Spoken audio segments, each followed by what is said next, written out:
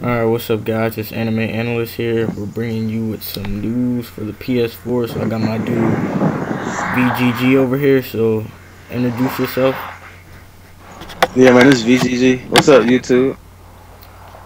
Yeah, he's pretty cool. Check out his channel. I'll leave that shit in the description.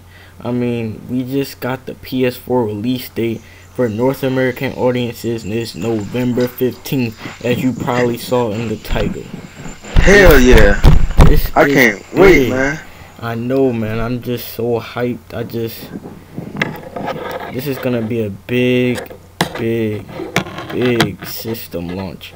I mean, we just saw in the Gamescom conference video that they've reached over 1 million pre orders already.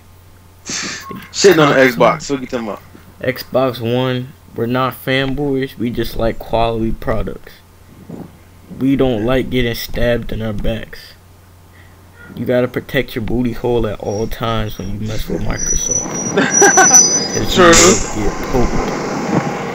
Man, but yeah, man, the, the PS4 release date came sooner than I thought.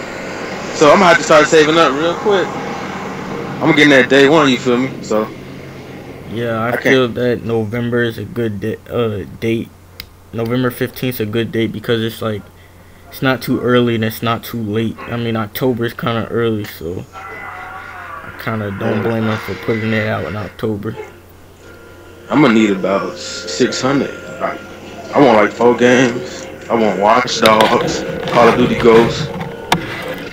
Yeah, we gonna need to save up. I mean, you need and you need PS Plus, so you gotta think about that. But you also saw some Battlefield gameplay of the China Rising map or whatever it's called, some premium info, and it's just confirmed that you can upgrade your PS3 versions of of your favorite games to the PS4 versions for a small price. So I mean, for me, I personally wouldn't do it because I just get the PS4 version.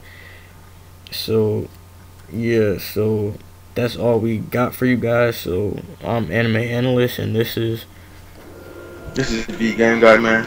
Make sure to check out my channel too. I'm doing movie reviews, gameplays, game reviews, and everything. So stay tuned, man.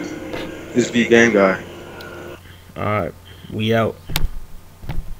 Like, comment, subscribe.